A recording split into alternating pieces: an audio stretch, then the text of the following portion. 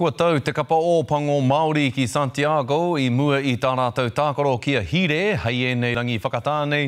Whā rau tāngata i mātakitaki i te whakangungu a te kapa Ōpango Māori i Santiago, otirā i puta atu hoki ētahi o ngā kaitākaro o te kapa ki te whakahaere kaupapa whakangungu ki waenganui ngā kura me ngā karapu o te rohe.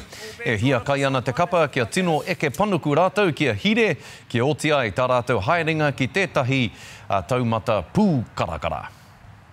It's going to be a big game. We all know the, the tradition. We always watch them on TV, you know, watch New Zealand win back-to-back -back World Cubs. And, and we all understand that the Māori All Blacks, as well as all the regional teams and everything, is a, is a big part in that. In the end, the guys that win the World Cup are just the, the face of it, but it's a big work of the whole country. So this is part of that of that development of the of the first team, and and we understand that, so we're going to face it that way. Well, I can't really control what they think or feel. All I can do is just turn up on game day with our boys and make sure we're ready to hiss. Um, I think last week, you know, the weather played its part a bit, and we got caught napping a couple of times. So you know, we've made some changes in, in terms of our week and how that looks. So hopefully we've got a bit more energy in the tank and with the distance not being so far, I'm sure the boys will be ready to go. So hopefully we get a bit of a dry ball and we can actually play some footy that we worked on the week.